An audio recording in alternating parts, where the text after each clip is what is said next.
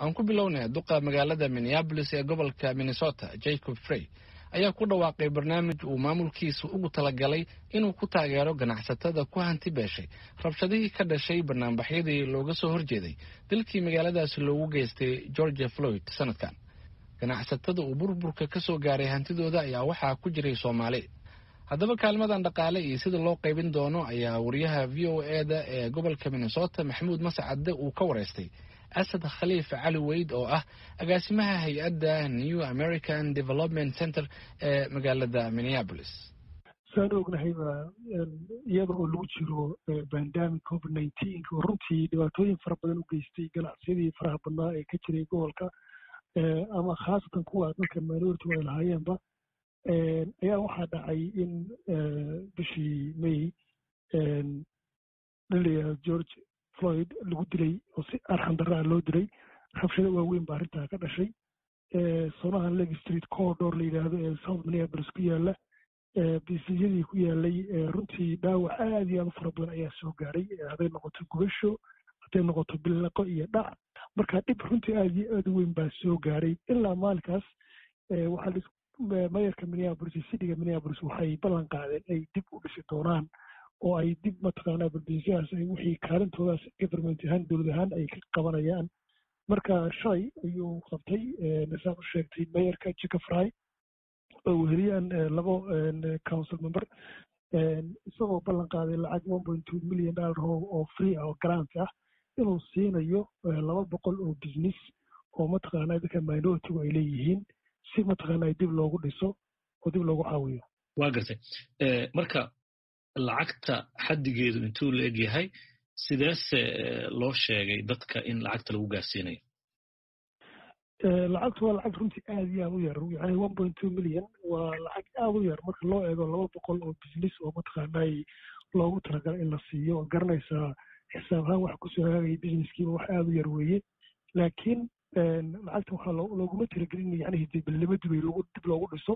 Waxaa loogu talagalay dadka in lagaga caawiyo inta badan waxyaabaha criticals u baahan yihiin si businesskooda ay dib ugu soo noqdaan oo businesskii dib ay ugu furaan waxaa ka mid a waxyaabaha ay sii mataqaanaay ay one point two millionka loogu talagalay.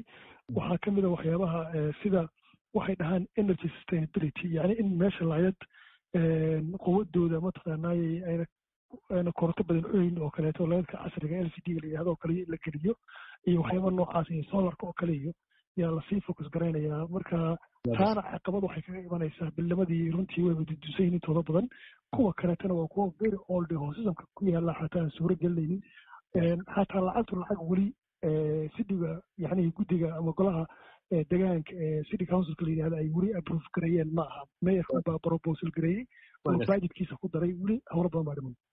Gartay asad laakiin waxaan ognahay dadka ganacsiyadooda ay ku waxyeeloobeen laftooda soomaali baa ka mid a marar badanna waxaa laga yaabaa dadkeenu qaababka waxaa looga faa'iidaysanayo inaan xog badan mararka qaar aysa ka helin dadka soomaalida ee ganacsiyadoodu ay meesha ku bureen lacagahan kuwan iyo kuwa lamidkaa sidee uga faa'iidaysan karaan? Aad baad u mahadsan tahay mascade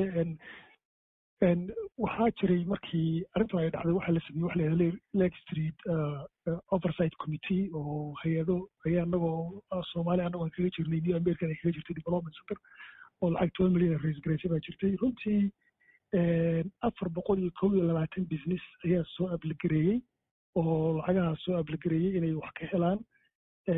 Siddeetan iyo saddex boqolkiiba waxaa iska lahaa dadka madowga ama spanishka ama people of color la yidhaahdo yaa iska lahaa ama indhayarta isku dar ama native americanka dadkaas markii la sii kala qaybiyo soomaalidu number one bay ka ahayn business ku yaalla leg street oo soomaali leedahay oo aanan qaadanin. Marka laga reebo moolka weyn ee caramel ama twenty four twenty four isagoo kuma wara jira corridorka looguma talagelin corridorka lacagaha aan siinayna waxaa weeye twenty six street ilaa iyo thirty two inta udhexaysa ilaa webiga mississippi river xaggan ilaa lake calhoun.